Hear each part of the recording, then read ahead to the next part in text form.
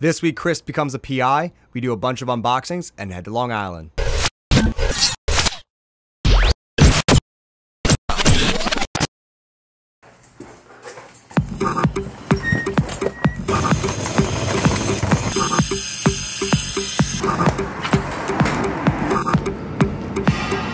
So just got to the studio and unpacked and realized my iPad is missing, which isn't good. And this is very unlike me to lose things, so trying to keep calm, a little upset at myself right now. Uh, so I'm heading back to the apartment to see if it is there. Hopefully uh, Eve took it out charged for me overnight. She's good like that. But I really hope I didn't leave it on the plane. I will be very mad at myself and will only add to a uh, kind of stressful, demanding day. So I'm trying to keep calm. I'm gonna stop and get coffee to kind of facilitate that. Our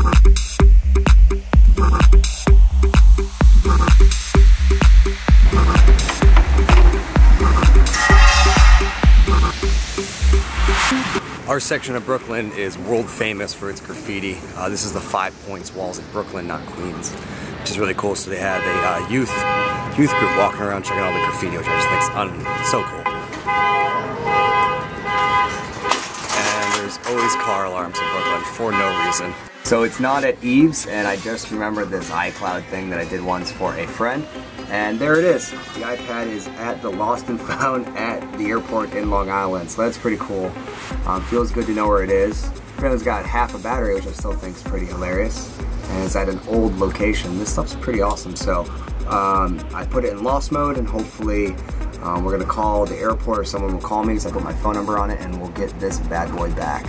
Um, I called up the airport where they have it. They're just about to ship it back. And Joe pretty much would have had a conniption if it went to Texas to their corporate office. True, true. so we got it back. Awesome. Well, we got to pick it up, but it's in the airport. So we're gonna send Mike to go get it, right? yeah. All right, cool, cool, cool.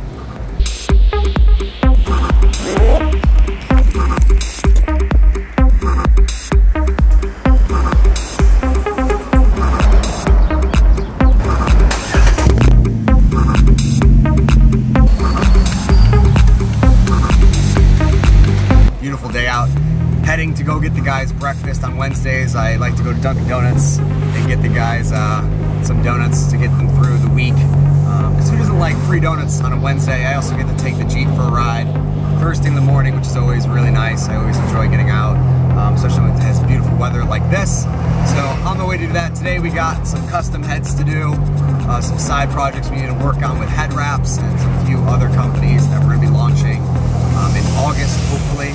And uh, then we got box tonight. So uh, Wednesday's always a good day. A lot of people don't like Wednesday. I like Wednesday because it's just a good work day. And then we get to hang out after work um, and actually not work, just kind of hang out, um, work on each other's sticks, and then we head to box. So uh, Wednesdays is always a good day for us.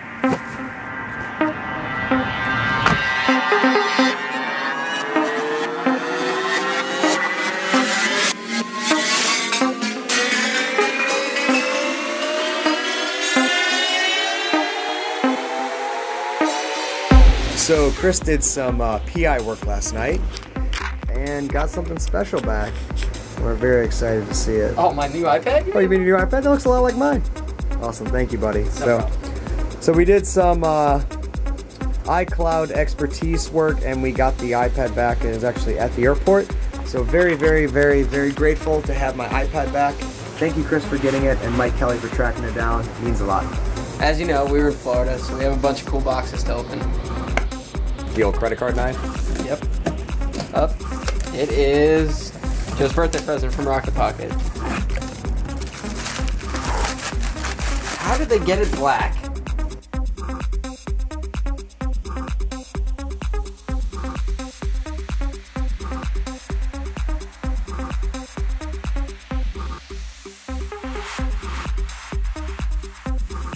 From Stylin' Strings? Oh boy.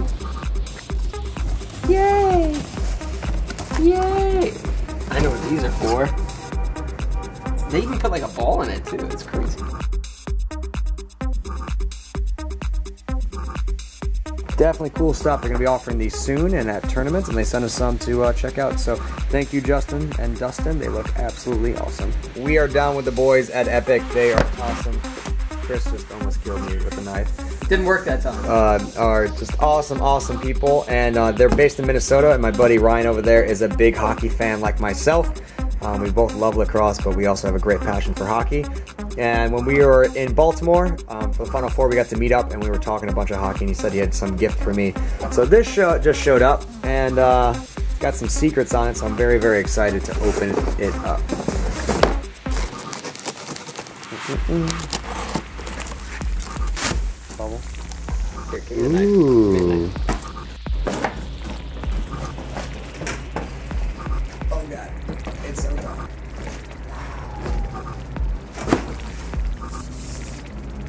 Oh, look at that curve.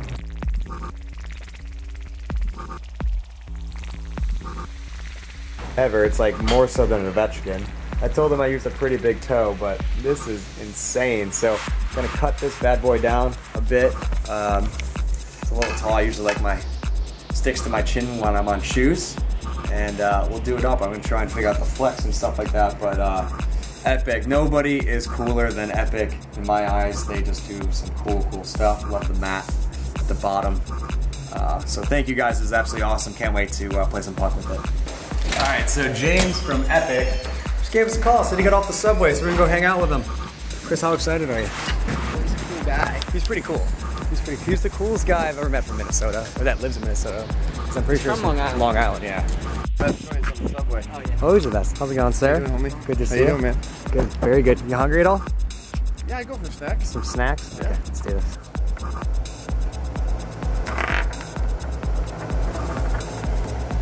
Bam. So Chris just informed me that he follows weight loss supplements for women on Instagram. Yeah. Shreds women. Shreds at Shreds Women because they post hot girls right there, avocado burgers there, but he hates it when they post the actual supplement. Yeah, and Um, what's wrong with that? I guess there's nothing wrong with that. I can't call it. Why not? I can't call it. Why don't you just follow like hot girls and avocado sandwiches instead of like Shreds weight loss? I don't know. I don't know how I found it to be honest with you.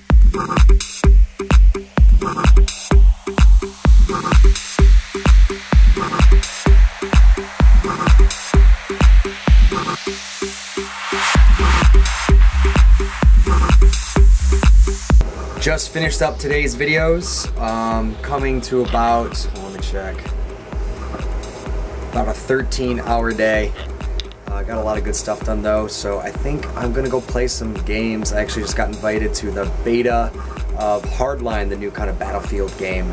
So I think I'm gonna download that, play some of the beta. Uh, Battlefield's betas are usually terrible. You usually get like stuck in a wall, your gun gets stuck in the floor, but nonetheless, uh, should be fun playing a beta. So uh, probably do that for an hour or so and then go to bed.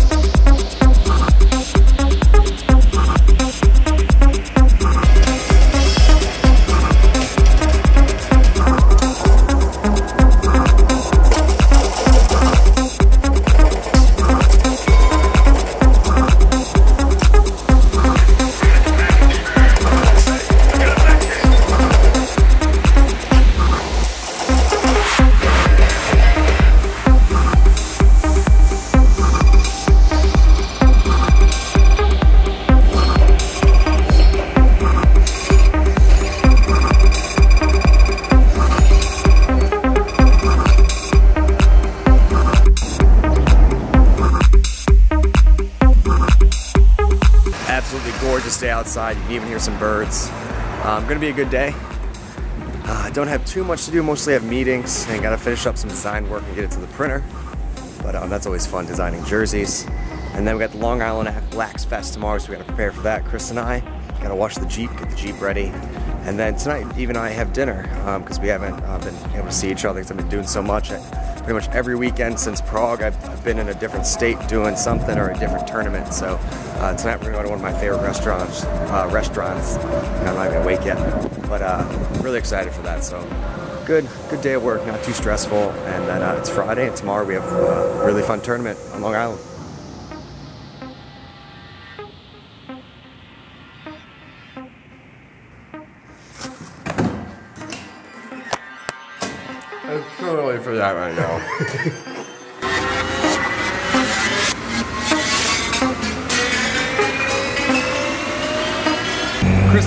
Is stringing a stick, and I'm driving to uh, go get the Jeep washed. At least the outside, gonna do the inside uh, for this weekend's tournament on Long Island, Long Island Lax Fest, Farmingdale.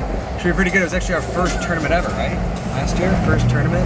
And uh, so this should be a good one. It's a year we've been doing these. Hopefully we learned a thing or two. Um, but really to be efficient, but should be should be good. Always a fun time, and we don't have to drive insanely far or use a plane to get there. So uh, all in all, should be a better weekend.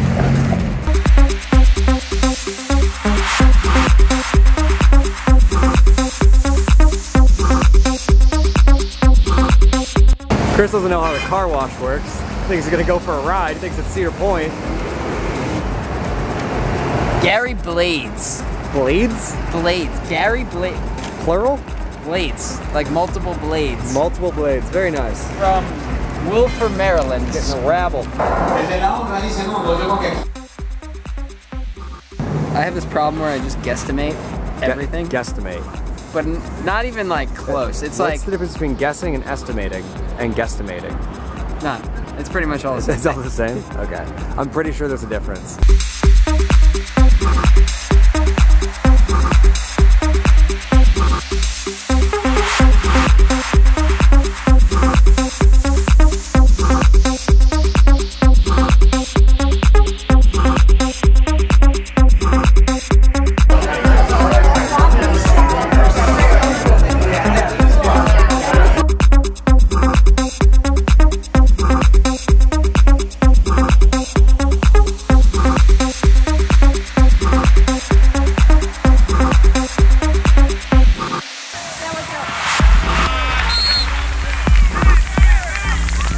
Good goal. Good goal.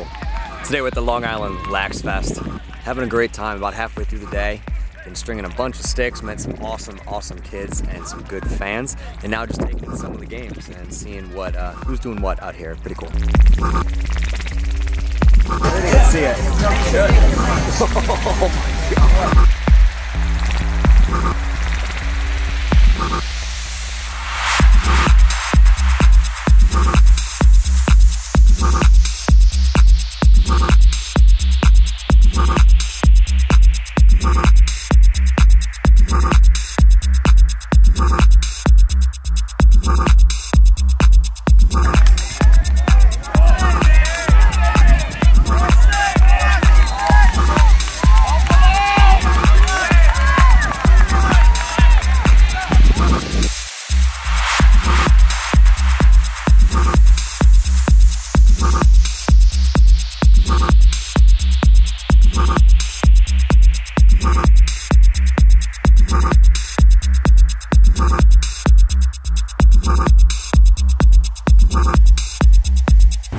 absolutely amazing day. Uh, we were set up for about 12 hours at the Long Island Lax Fest. Um, got to string some really, really cool sticks. Got to see some fans. Got to see some close friends. Uh, I actually got to see the uh, uh, the Blakes from Texas. They were actually up here playing, so that was really cool. Got to hang out with them. Um, and their two boys got to uh, kind of apprentice for the day and help us string sticks and hang out, which is always fun having little guests hang out with us the whole day. Um, it was just awesome. Got to meet um, some new people, got to see some old friends, um, and got to string some amazing sticks for some people that had some pretty rough sticks. Still, I think my favorite thing of tournaments, besides being outside and seeing a lot of good lacrosse, is stringing sticks for kids that just have never had a real pocket. It's unbelievable. The feeling I get is amazing, and their reaction's unbelievable. So first off, you like you help them out, you just like hook them up, and you give them this really, really, really cool setup, and then you give it to them, and they just freak out because it's so much beyond anything they've ever had, and they can actually see it's like a pocket and all the colors and everything. They love it, and then I'm like, hey, do you want to go throw? And they freak out that they, we're going to go throw. So then we go and throw with it. And that first throw is always very awkward. They're always really unsure of themselves. And the ball usually goes high or throws down um, because they're just using these terrible sticks. And their throwing motion's kind of all weird. It's like jittery, or they like lob the ball and it's all top hand. And uh, so then I like, you know, in the next like two passes, I start showing them throwing through and pointing the head. And then they get it and they're throwing dimes to my stick and they just light up. It always puts a smile on my face and uh, reminds me of uh, the good we're doing and uh, how much fun we have. So, long day, completely exhausted, but very happy. Uh, I think I'm gonna go home and do nothing. I'm really looking forward to doing nothing tonight.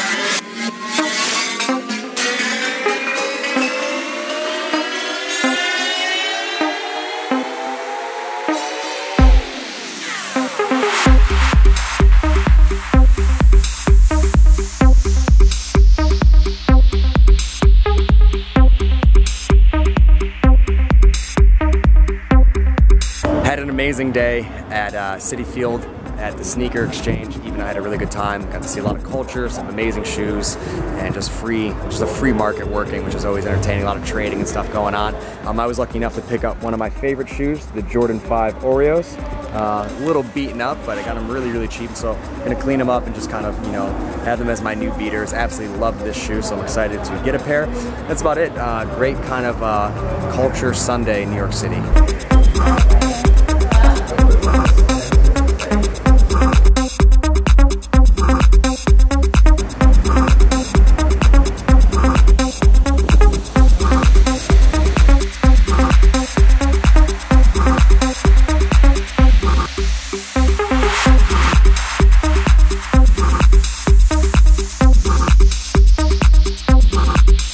Sure to subscribe so you don't miss any Throne Chronicles. Let us know what you think of this episode in the comments below, and look out for next Monday's episode when we head to the MLL All Star Game.